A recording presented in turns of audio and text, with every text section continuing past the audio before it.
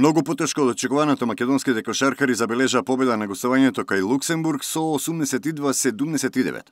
Александар Косовски со ученок од 20 поени 9 скокови 7 асистенции беше незаслужниот за само втората победа на црвено-жолтите во овие квалификации.